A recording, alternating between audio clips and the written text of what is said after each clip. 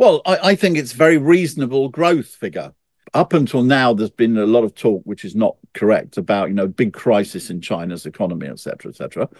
Um, and the now they're saying this is an ambitious target and you know it's a high target, etc. So at the moment that they're saying that China won't be able to hit this target, um, the most effective way for it to be done is is for China simply to hit achieve these targets because then companies will want to invest in China and it will cut through these things.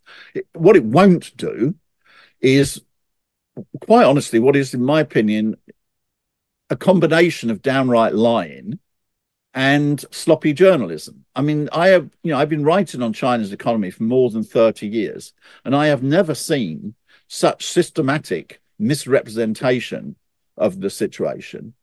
It's going to have continue to have misrepresentation, and the most important way to deal with that is to actually hit hit the growth numbers that it's put, which are very realistic